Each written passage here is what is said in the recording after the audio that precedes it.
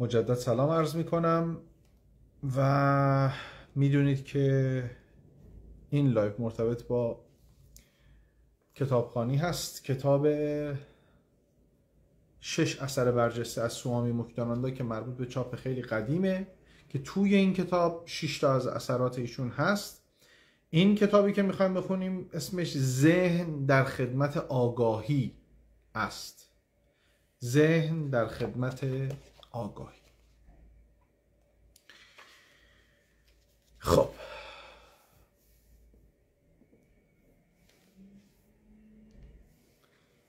ذهن انسان در واقع کالبد خیشتن اوست.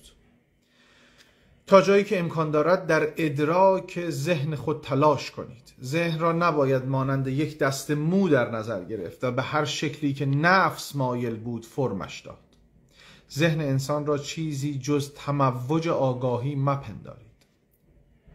آگاهی جهانی پدیده ای ازلی و ابدی می باشد به محض اینکه آگاهی جهانی وضعیت آگاهی خالص را که فراسوی محدودیت هاست درک می کند در نهایت آزادی محدودیت را میپذیرد. یعنی شکل می‌گیرد. با اینکه می‌دونه نامحدوده. که خودش رو تجربه بکن. چون بدون محدودیت تجربه میسر نیست. و این محدودیت بزرگترینش زمانه. و تبدیل به ذهن بشری می شود گفتم که این آگاهی خالق جهان با همه تنوع و گوناگونیش می باشد محدودیت پذیری این آگاهی موجب خلق دنیای بیکرانی می شود که اذهان رشد نیافته توان از درک ناتوان از درک آن هستند. آیا شما هیچ دریافتی از توانایی شگفتانگیز و افسانه‌ای ذهن بشر دارید؟ از بامدادان تا شامگاهان ذهن انسان بدون وقفه برای بهره بردن از پدیده های جدید انواع اقسام تصاویر و افکار گوناگون را در خود جای می دهد و در طلب کسب جاذبه های کاذب از شاخه به شاخه دیگر می پرد. آیا می دانید که در این هستی بیکران عوالم بیشماری وجود دارد؟ می دانستید؟ فقط به زبون نه در درون حقیقتا. وگرنه که صفحه اینستاگرامی زیاده بگه این حرفا یکیش اما. اما چگونه می‌توان همه آنها را توصیف کرد؟ اگر از دیدگاه آگاهی بخواهیم پاسخگوی این سوال باشیم چنین, تو... چنین توصیف می شود که در حقیقت هیچ یک از این عوالم گوناگون متفاوت با خود آگاهی نیستند و در واقع همگی از پدیده آگاهی سرچشمه گرفتند پس کشف آنها تنها با خود آگاهی میسر می شود. خود آگاهی یعنی چی؟ یعنی من آگاهی. یعنی به من آگاه بشم یعنی به خودم آگاه بشم یعنی خودم را بشناسم. دوباره از اول خودشناسی. آنچه را که ما به عنوان جهان مشاهده می کنیم تنها نوعی سرگرمی است. اما جهان باطن تجلی آگاهی است. جهان مخلوق یک اندیشه است. این صفحه حدود پنج سالش داره میشه. و جزو اولین مباحثی که تو این صفحه مطرح شد.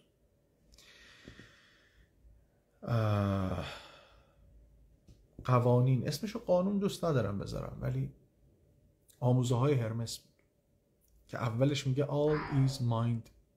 همه چیز ذهن است. مکتانانده بر همین عقید است. و بدون شک تحت تاثیر آموزه های هرمس هر کی هر مسیری می‌خواد بره در نهایت قوانین همینه. به بیان دیگر جهان یک آفرینش ذهنی است. ما انسان ها توسط افکارمان دنیای شخصی خودمان را می سازیم. به همین ترتیب خود ما سازنده جهنم یا بهشتمان هستیم. گوش می‌کنی چی میگه؟ هر کدوم از ما نه فقط آدماها هر شیعی حتی یک جهانه که در تعامل با هزاران هزار جهان دیگر است. این جهان ها کوچک و بزرگ دارن. این جهان ها آگاه سطوح آگاهی متفاوت داره. این قلم یه سطح آگاهی داره. این کتاب یه سطح آگاهی دیگه ای داره. من یه سطح آگاهی دیگه ای دارم. اون میز یه سطح آگاهی دیگه ای داره. ولی داره و همه این جهان ها مستقل در حال تجربه خودشون هستن. و تجربه تعامل با جهان های دیگر فهمستی؟ ذهن انسان آنچنان قدرتمند است که می‌تواند قوی ترین قدرتمندان را هم تحت تسلط خود درآورد و آنان را مغلوب خیش سازد. اما متاسفانه ذهن بشر خوشبختی های واقعی را از انسان مخفی می سازد و تنها اجازه مشاهده بدبختی ها را به او می دهد عمیقا با این یه که موافق نیست. هرچند که من خورده به مترجم می‌گیرم چون بعدش فکر می‌کنم اتفاق جالبی میافت. ذهن پالایش نشده انسان روی خیشتن درخشان و پرتلعلع هجاب و حایلی می آفریند و به ما می باوراند که بشر برده ای بیش نیست. واقعا هم الان اکثریت همین فکر چند تا جمله قبلش گفتش که ما انسان ها توسط افکارمون دنیای شخصی خودمان را می‌سازیم. حالا اینجا میگه به ما این افکار میباورانند که برده بیش نیستیم. پس این میشه افکار ما که جهان ما رو داره خلق می‌کنه. پس وقتی تو باور داری که برده بیش نیستی عین حقیقته. برده بیش نیستی. چون تو با باورهات و افکارت جهانت رو می‌سازی. بهشت و جهنمت رو می‌سازی. اگر با دقت به طبیعت اطراف خود بنگرید نوعی شور، اشتیاق، شعف و سرور در همه پدیده های عالم مشاهده می کنید. به عنوان مثال اگر فصول را در نظر بگیرید می بینید که زمستان با اشتیاق فراوان به انتظار تابستان لحظه شماری می کند و تابستان نیز از صمیم قلب شوق آمدن زمستان را در سر می پروراند. چه ذهن انسان فوقالعاده شگفتانگیز است اما در عین حال سرگردان و بدبخت است. زیرا در هر شرایط چه زمانی که شخص توحید است و یا غنی است همواره برای خودش نوعی بدبختی می آفریند و با تأسف فراوان مشاهده می کنیم از شور نشاط و شادمانی که در تمامی پهنه هستی موج می‌زند در ذهن انسان نشانه به چشم نمی‌خورد ذهن پالایش نشده رو داره میگه. ذهنی که خودشناسی نکرده. خامه. مواد غذایی خامه. پخته نشده.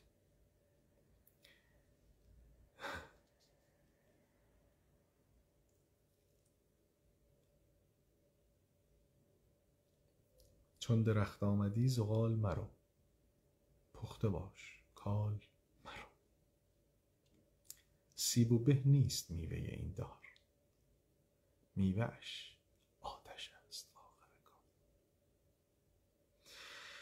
اگر اجازه دهید که ذهنتان به هر سو پرسه بزند شاید بتوانید که امیال دنیوی خود را ارضا کنید و به آرزوهای خود برسید. اما در صورتی که ذهنتان را تحت کنترل درآورید و بر آن مسلط شوید می توانید به لقای خداوند به همین دلیل خردمندان گفتهاند ذهن بشر هم می‌تواند سرمنشأ بردگی او باشد و هم می‌تواند او را به وادی وارستگی و آزادی برساند. حال ببینیم که چه راه حلی برای پرورش این ذهن پرسزن و بیمار در اختیار بشر قرار گرفته است. انجام مراقبه یکی از راه های پالایش این ذهن معیوب محسوب می شود تکرار ذکرهای مناسب.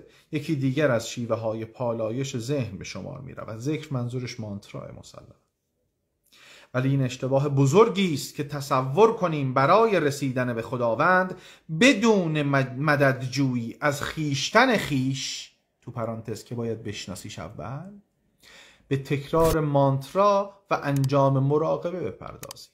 زیرا خداوند در هر حال با ماست و در درون ما موج می‌زند. این دقیقا اشتباهی که اکثر... اکثریت آدما دارن می‌کنن. خودشناسی تعریفی نشده براشون. مدیت می‌کنه و مانترا میگه صبح تا شب. جمله های تأکیدی از این برچسب رنگی ها رو در یخچال. من پول دارم من پول دارم من پول دارم من پول دارم. من قویم من قویم من قویم من قویم. فلانی فلان فلانی فلان فلانی فلان. بعد فکر می‌کنیم که قرار این اتفاق بیفته. بدون مدد جویی از خیشتن خیش. این خیشتن خیش کیه؟ چیه؟ تنها زمانی که ذهنتان پالایش یافت سرور درونی را کشف می کنید و فقط زمانی که ذهنتان پاک و متحر شد نور درونتان شروع به پرتو افکنی خواهد کرد. این نکته از اهمیت خاصی برخوردار است که بدانید شما به همان چیزی می رسید که بر روی آن مراقبه می کنید می‌دونی مراقبه کردن یعنی چی؟ یعنی متمرکزی رو چی؟ همین به همین سادگی.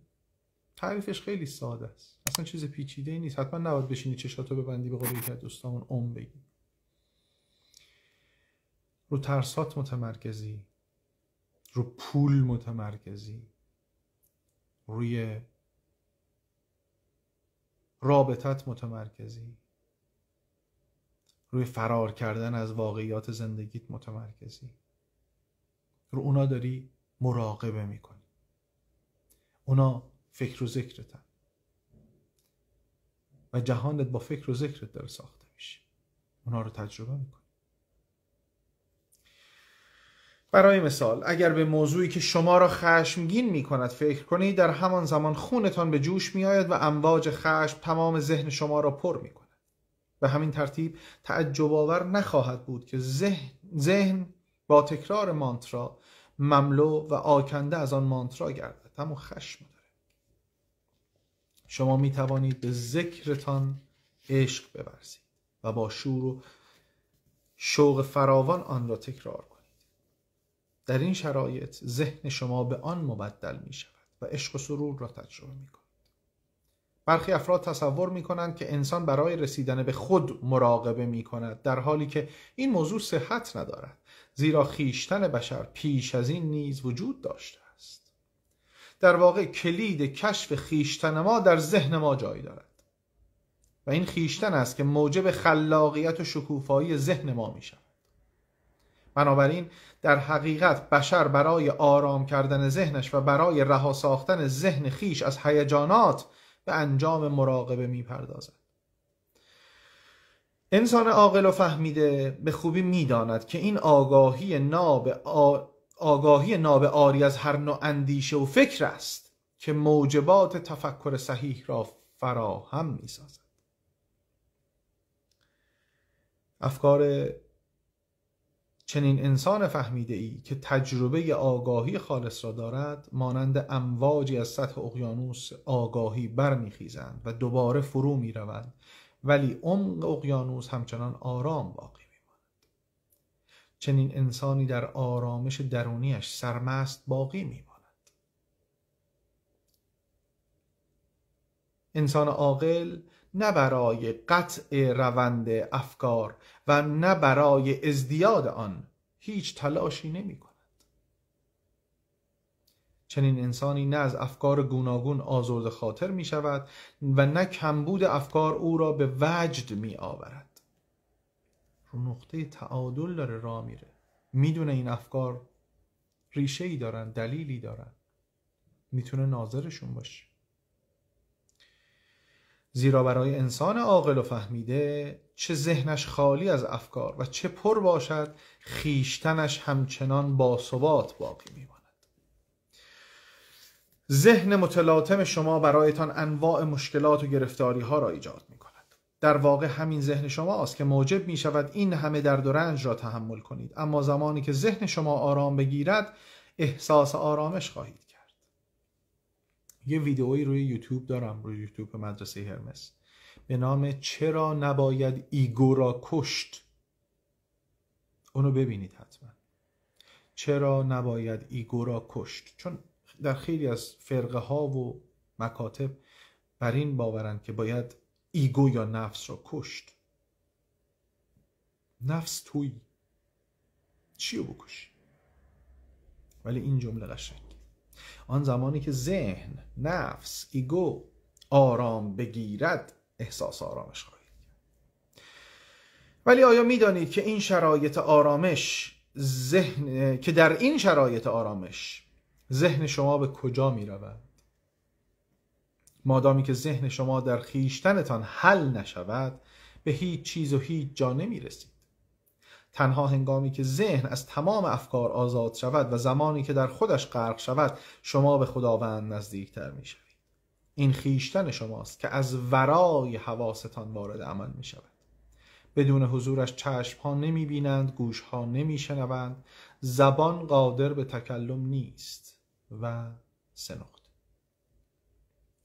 باید دانید که خیشتن شما در تمام حواستان حاضر است. اما از سوی دیگر این خیشتن هیچ شکلی نمیپذیرد.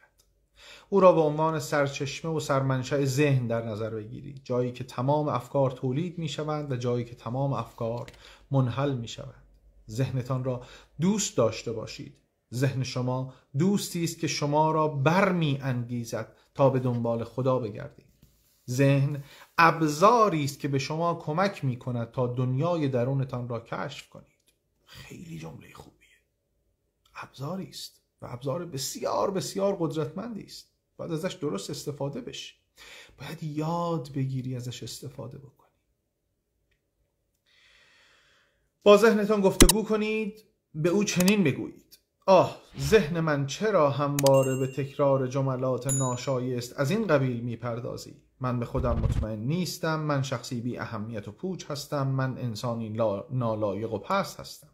اینا همون چیزهایی که ما تو کودکی در اون بارها و بارها در موردش صحبت می‌کنیم و ریشه یابی می‌کنیم. باید بلد باشی ببینی چرا داری این رو به خودت میگی چرا خود تخریبی می‌کنی. چرا این گونه نمی اندیشی خداوند در درون من است. من کامل هستم. من از جنس عشق متعالی هستم. من ماورای هر نوع اندیشه ای هستم. ببین این قشنگه ولی نمیشه.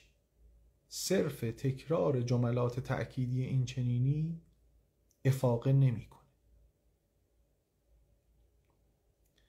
چون سطح آبه عمق باید پاکسازی بشه. اگر بتوانید هر آنچه را که در ذهنتان میگذرد به عنوان نوعی آگاهی بنگرید هیچ اهمیتی ندارد که شما در ذهنتان چه چیز خاصی را به تصویر می‌کشید و حتی دیگر اهمیتی ندارد که شما چه احساسی دارید. به این ترتیب است که ذهن شما احساس خوشبختی خواهد کرد و قلبتان آرامش را تجربه خواهد نگفت ذهنتان آرامش را تجربه خواهد کرد. گفت قلبتان آرامش را تجربه خواهد کرد. تا زمانی که ذهنتان متوجه عوامل بیرونی است دنیا را یک دنیای معمولی می‌بینید. اما وقتی که ذهن شما به درون متمایل شد و در خیشتنتان حل شد دیگر دنیا را فقط یک دنیای معمولی نمی‌بیند نمی‌بینید. چون شما ذهنتون هم هستید. بلکه دنیا را گستره وجود خداوند و عالم را محضر پروردگار متعال خواهید دید. این جمله مشهوره ای بنده خدایی ذهنی که توجهش به بیرون از وجودتان معطوف شود شکل و شمایل دنیوی به خود می‌گیرد. این یعنی خیلی محدود داغان است. اما ذهنی که متوجه درون شود در آگاهی حل می شود و به آگاهی تبدیل می شود. به عقیده مکتاناندا ذهن انرژی الهی است. ذهن متعالی ترین الهه است. پایان. این هم کتاب پنجم از شش کتاب مکتاناندا بود. و هفته آیندم که کتاب آخرش رو خواهیم خوند و این مجموعه رو میبندیم می‌ذاریم کنار. حالا چطوره نکاتی رو بهت گفتم که اون نبایدی توش بودا؟ داشتی یا نداشتی؟